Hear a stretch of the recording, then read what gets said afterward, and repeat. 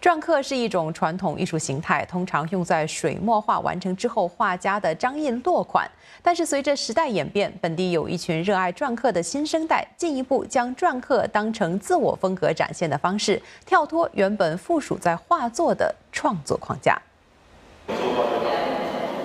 本地篆刻爱好者除了沿袭传统之外，也寻找篆刻作品的展演方式。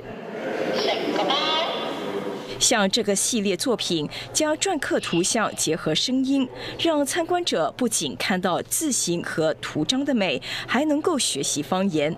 此外，图像呈现如剪纸般细致的效果，以及构思创意字句等方式，都是新生代篆刻爱好者喜欢的展现手法。新生代篆刻爱好者每个月都会在滑铁卢街的孝涛篆刻书画会聚会，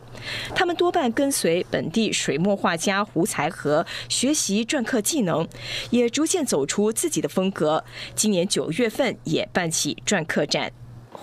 主要是画动物比较多嘛，然后如果刻一些动物可以配合自己的画，主要是画猫最多啦，所以自己刻印自己盖嘛，所以我觉得蛮有意思。最有趣就是每一个汉字，它的古体都给你带来不一样的挑战。那你要怎么在一个小的空间里面把它排的合理，然后又不突兀，然后又有趣味？那这个布局就是最有趣的地方了。四十四岁的陈小薇是当中资历最久的学员之一，如今担任篆刻书画会副会长。也是在探索什么是篆刻的定义，一定是要用石章吗？觉得另类材料，例如木头、呃陶印，或甚至是好像我们会另外会员用麻将、呃牌，还是几乎可以刻的东西都可以尝试。你要刻一个印或者一个图章，你要请人家来刻，不如你本身自己创作。可能好像你画了一幅画，你要盖一个闲章哦，有时候。